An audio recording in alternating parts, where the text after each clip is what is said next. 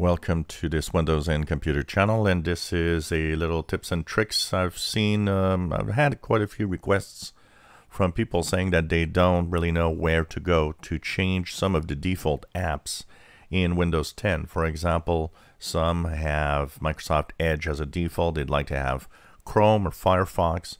Uh, some want to have a different video or audio player. Where do you actually do this? Well, the simplest way to do it is in the settings. If you go into your settings app, either by the bottom right in notifications area, or you can go to the start menu, click on the settings um, gear, go into apps. Here on the left side, you'll see something called default apps. This is the default app for email, maps, a music player, photo viewer, and video player, which for a lot of people is pretty much everything that you need. So how do you change this? Simply click on the app itself. Any other app that you have available that could actually do what you want will show up in this list.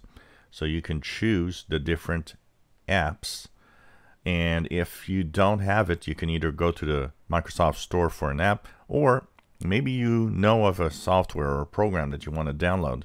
What you do is before going here, download that program, install it on Windows. And once that software is installed in Windows, it will show up if it's compatible with the type of uh, media that you want to actually play. Uh, music player, here I have Pot Player, which is one of the my favorite. Um, it does give you recommended um, apps, but um, they're not necessarily the best Photo viewer, of course, you can click on the photo and choose which photo viewer you want to have. And then you have video player and web browser, which will give you the choice of Google Chrome or, you know, Firefox or whatever app you have installed. If you do have different apps installed and you kind of a little messed up and want to have the defaults again, you can click reset. Reset will default all the apps to the default apps Windows 10 wants you to use. You can, of course, go back and change that if you ever want to.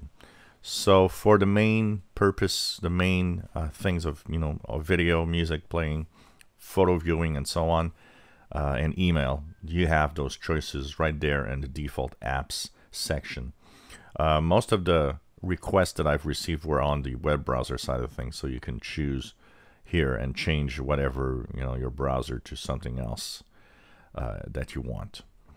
If you enjoy my videos, please subscribe, give us thumbs up. Thank you for watching.